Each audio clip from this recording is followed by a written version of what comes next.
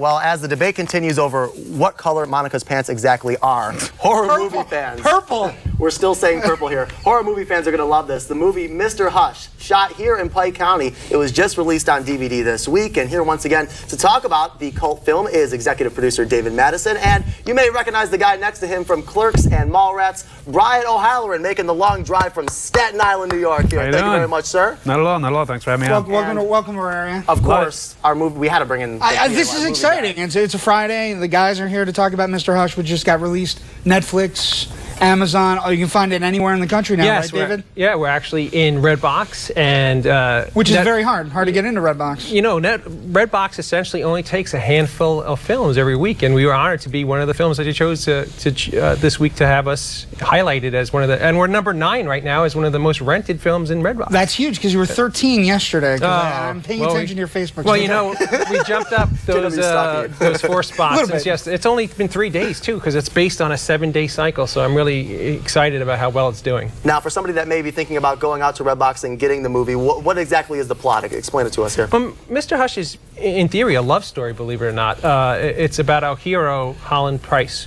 who, uh, uh, who is tortured over a 10 year span by uh, the antagonist, Mr. Hush.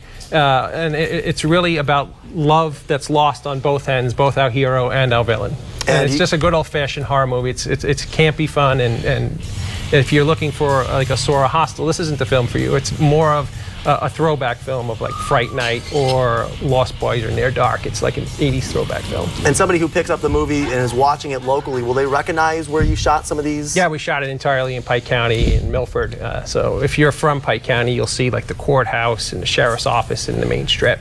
Was it hard to get the permits and all that to shoot? I feel like a lot of people now are moving to Pennsylvania, to northeastern Pennsylvania, to shoot these movies. No, I mean it, they, the the county was fantastic, and the beauty of it is that the the, the county has such a rich heritage in film that uh, it was just a natural fit for us to shoot the movie there. Talking about Mr. Hush here on PA Live, and Brian's in the movie as well. Make a, a lot of a little 80, a cameo lot at of the 80s end. icons and, and Brian from the ni- 90s icon, so to speak. Mm-hmm. Um, are were you working with David?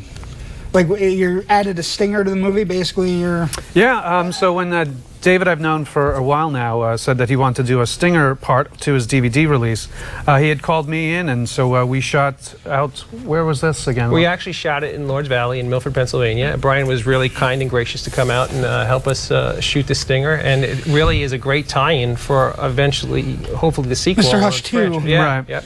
Will you keep that in northeastern Pennsylvania as well? Cer- Have you already like certainly. started? Do you have a well, script and all that? or- Yeah, well, the, the the area plays such a key part of the film that it's important that we keep it up here. Uh, absolutely. Uh, and, and Brian, I mean, obviously, you know, I don't know how much work you've done in northeastern Pennsylvania, but you've done quite a lot of work in the tri-state area Mm-hmm. throughout New York and New Jersey as well, shooting a lot of movies. Yeah, I mean, uh, I've been. Sh- I've, this will be my third film that I shot here in uh, Pennsylvania, the state of. I mean, I, I was part of the happening of M Night Shyamalan's The Happening, which was based around the Philadelphia Valley Forge area. I did a movie a couple of years ago, a horror comedy called Brutal Massacre, and that was shot up in the Allentown, Bethlehem area. Oh, okay. So um, you're coming right. You're coming right up the turnpike. is Exactly. what- Pretty much. Is what it sounds like. I, I feel I feel like in ten years I'll make my way to eventually California. You know, if I do it state by state. Soon enough.